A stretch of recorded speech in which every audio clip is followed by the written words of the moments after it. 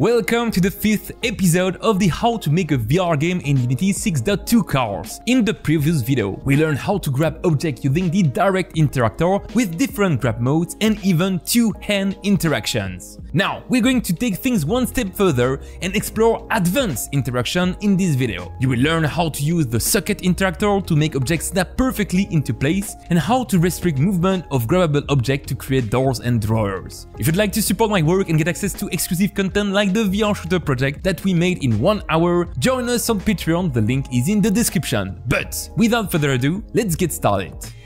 Okay, so here we are where we were left at the end of last episode and let's get started with our advanced interaction. And the first one that I want to show you is the socket interactor. So let's get started with its setup. I'm going to select here the table and simply press on Ctrl D to duplicate it. Then I'm going to move this new table to the side, rotate it 19 degrees like this by pressing on the E key and just like this, put it over there on the side. Now it looks good. And now it is ready to have a socket interactor, but what is actually a socket interactor? Basically, if we go under the VR player, camera offset, right hand, you can see here that we have the right direct interactor, which allow us to grab object that we use in the previous episode. And the socket interactor is basically doing the same thing, but it doesn't require the right hand of the player. It's basically a place where you can drop some grabbable object and the socket interactor will grab them for you. This is especially very important if you are making an inventory or that you want to help the player to snap an object to a certain place. So to set up the socket interactor, let's right click, create empty, call it socket interactor, beautiful. I'm going to click on add component and add an XR socket interactor. Beautiful. And finally, we need also a sphere collider. Now, don't forget to set the sphere collider to is trigger and we can also change the radius depending on the zone we want to use to snap the object. Just for testing, let's set it to a value of 0.4. There you go. Now, right now we have a collider, but this zone is not very visible. So what we can do is right click on the socket interactor, go to 3D object and then sphere. Now we can scale down the sphere to a value of 0.8 on all axes. And because here the sphere collider has a radius of 0.4, setting the sphere size to 0.8 will make the sphere has the same size as its parent collider. Now, we can remove the sphere collider on this sphere because we don't need it as we have already one on the parent. And here I want to change the material of the sphere to something transparent. So for this, I'm going to click on the asset folder, right click here, create, then go to material. We can rename this one socket transparent and I'm going to change the shader to universal render pipeline unlit. Then we can drag this material over there on our sphere and change the surface type to transparent. And now I'm going to simply change the alpha value and lower it a little bit. And finally, we can also set the render face from front to both so that it renders on both sides. And as you guys can see, now by moving the parent, we have now created a certain zone where we will be able to place some object. So let me show you how this works by clicking on play. Okay, and as you guys can see, when we approach a grabbable object to the socket interactor, we can see a preview of the object inside, and when we release it, it snaps directly to the center position. So it works pretty great, and it works for any kind of object, the cube, or even maybe here, this gun. Now let's leave play mode to see how we can actually customize this component. Okay, so back into this component, as you can see, we have a bunch of settings that we can set on the XR socket interactor component. The first important one is the attach transform, and as we saw in the previous episode for this pistol over there, this attach transform can change and offset the rotation and position of this object. Now, in my case, I will leave it like this, but don't hesitate to use this value to change the target position and rotation. Then down below, we have the show interactable hover mesh. You guys saw that when I approach the object, it was able to show us a preview of the object inside with its target position and rotation. And there you can actually change the hover mesh material. There you go. Now down below, you can also change the scale of the object when it's grabbed by the socket interactor, which is actually very useful for an inventory system. And down below, I have also a recycle delay time, which will give me a time threshold to accept back another object after the snapping happens. In my case, I think that a value of 1 is a bit too much, so I'm going to set it to 0.1. And finally, the last thing that I want to show you is above, it is the starting selected interactable. And this is very, very useful because this allows us to grab an object before the game even starts. Just to give you an example, let's drag here the weapon one over there, so our pistols. And now if I click on play, as you can see by the default, the pistol snaps directly to this position, which is kind of cool.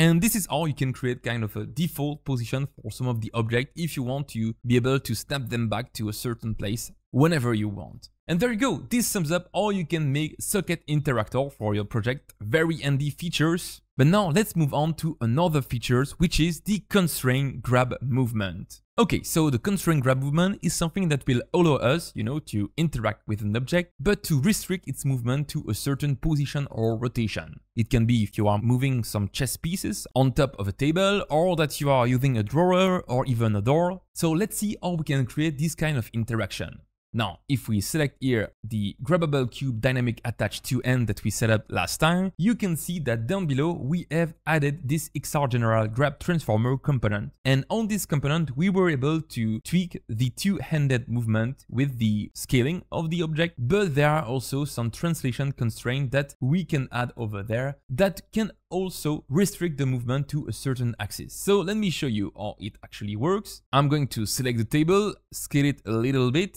select the socket interactor and put it to the side right there. And now I'm going to right click, click on 3D object, cube, select this cube, scale it down. There you go. Put it above the table maybe. Let's go to the material, change it to maybe something like the default white color. And finally, let's add an XR grab interactable to grab it. Now, of course, by doing so, our cube will be able to be grabbed, but its movement will not be restricted. So let's see how we can actually do so. And for this, I'm going to click on add component and add this type an XR general grab transformer. This is the exact component that I just showed you on the two-hand object. Now, if we click on this plus button over there and drag the XR General Grab Transformer, we are able to override the default behavior of the grabbing. And here we can basically tweak the different component. Now, in my case, I think I don't want to do any scaling with this one, so I'm going to disable this one. And on the permitted displacement axis, we can change how we want this cube to move. For example, if we click on Y button, we are only enabling the movement of this cube on the X and Z axis. There you go, now on the constraint axis displacement mode, we can say if this restriction is happening on the object relative axis or the object relative with locked world up or the world axis. Now in my case, I will simply leave it like this. So let's find out how this works by clicking on play. And there we go, as you can see, the cube is only able to move on the X and Z value, and if I try to move it up, it doesn't work. But right now, this is a bit weird because, you know, the rotation is still tracking, and that's actually something that we can tweak as well. So let me leave play mode. There you go. Now, if we go to the XR Grab Interactable, down below, we can see that we have a bunch of settings to track the position, track the rotation, track the scale. And I think that in this case, I'm going to just disable the track rotation and even disable the track scale. And now if I click on play again, and there you go, as you can see, it works. Now the object follow or hand but doesn't rotate and doesn't move up. So this is just a kind of a good example to show you how we can restrict some movement when grabbing an object with here directly the XR grab component, but there is so much more that we can do. And I'm going to show you a great example by building a door and a drawer system. And to show you how exactly it works, I'm going to use here this cabinet with texture that I've previously used on another tutorial. You will be able to find this link in the description down below. And now you can simply click over there to download it.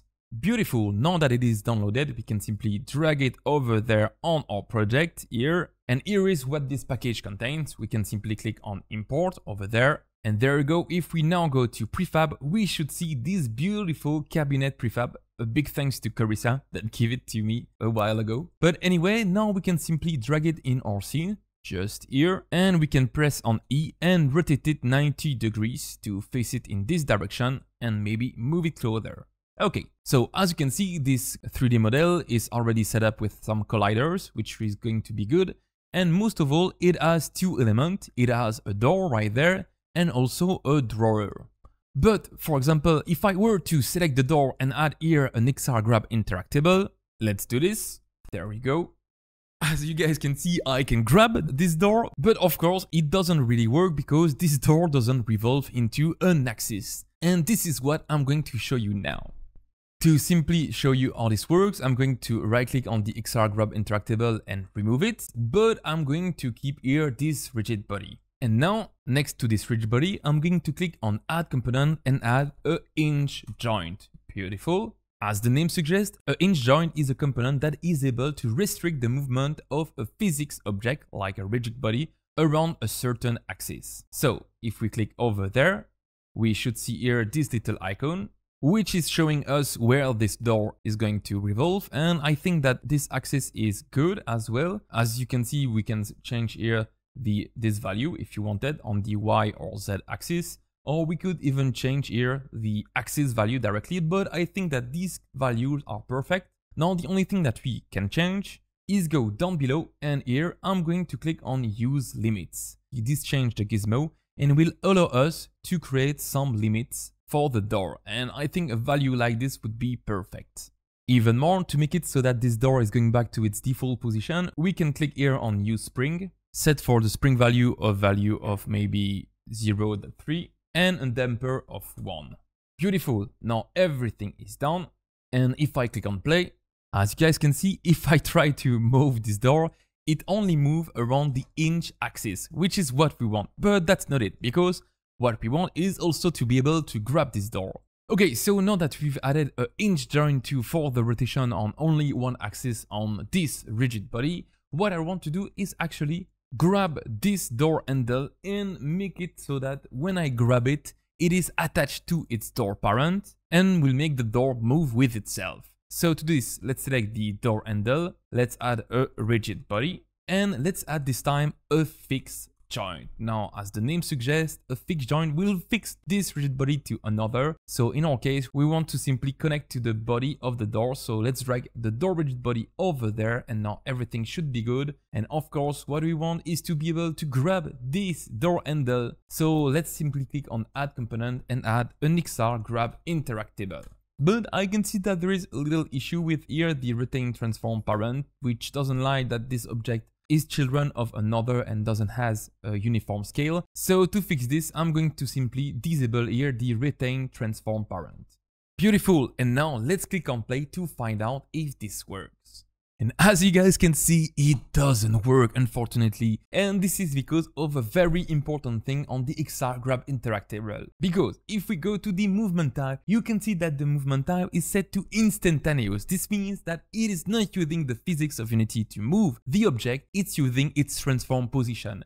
And so if we change it to velocity tracking, we should be able to keep the physics of the object while grabbing it, which means that we should be able to keep the fixed joint properties and also the hinge joint properties when we move the door handle and everything should work now, so let's click on play to find out. And as you guys can see, it works and most of all, it works very, very well. So all of the physics are still happening even when we grab the object thanks to the velocity track. As you can see, if I grab another velocity track object like this cube that we made in the previous episode, we can actually use it as well to open the door. It works pretty well. And I think that it's also show you how you can create easily a door system in your game simply with the physics properties. And now the last thing that I want to show you is of course to repeat the same thing but this time for here this drawer instead and you guys will see it's going to be very very cool. So the first thing we need is of course to make it so that the movement of this object is restricted to a certain axis. To do this, I'm going to again add a rigid body, but this time it's not a hinge joint that we will need, it is a configurable joint. And this component is very, very long, but don't worry, we are not going to use all of its properties. The thing we need is of course to change the X, Y, Z and angular motion restriction. So in our case, we want to simply move the object on the blue axis, which is the Z1. So let's simply set the X motion to locked, Y motion to locked, Z motion to limited, and locked for all of the rotation. So in this case, we are only able to move on the z-axis, which is this one, but we can set the limit of the movement over there on the linear limit. In my case, I'm going to set it to 0.15 like this. There we go, now it is the same thing as before, we can go down below. And now compared to the door, I don't need to mess with the handle, so I can simply select the drawer and simply add an XR Grab interactable right there. So don't forget here to set the movement type to velocity tracking. In this case, we can even go down below and disable the track rotation as well as the track scale. And let's click on play to find out how this works. And there you go guys, you know how to use Socket to snap object in place and how to add movement limits to create realistic doors and drawers in VR. In the next episode, we'll go even further with UI interaction that feature Poke and Ray Interactor. Don't forget to check out the Patreon exclusive VR shooter tutorial, it's available right now along with the source code of this series. Thank you for watching till the end and as always, see you soon, bye bye!